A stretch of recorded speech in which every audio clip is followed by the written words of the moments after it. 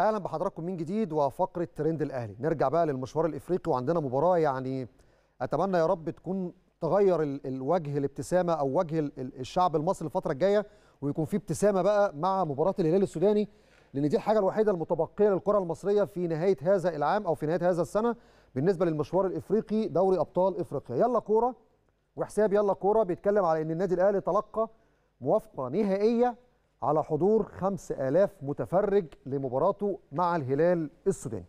طب هي المباراة هتتلعب يوم الأحد اللي جاي الساعة 10 مساء بتوقيت القاهرة، طبعا كل سنة وأنتم طيبين بمناسبة شهر رمضان الكريم فالمباراة هتكون الساعة 10 بعد ال- الفطار.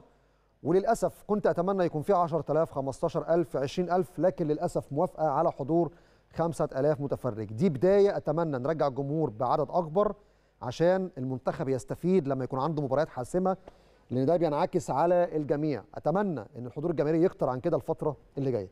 الوطن سبورت موسيماني يعالج لاعبي الأهلي الدوليين نفسيا قبل مواجهة الهلال السوداني. بيتسو موسيماني عنده مهمة صعبة جدا الفترة الجاية. مش تحضير فني لمباراة الهلال السوداني فقط لا كمان تحضير لاعبي الأهلي الدوليين نفسيا بعد الخروج من التأهل لكأس العالم. مسألة صعبة جدا. إن شاء الله مباراة الهلال السوداني تبقى فرصة طيبة للخروج من كل هذه الأجواء وبداية مرحلة جديدة للكرة المصرية. أخرج إلى فاصل.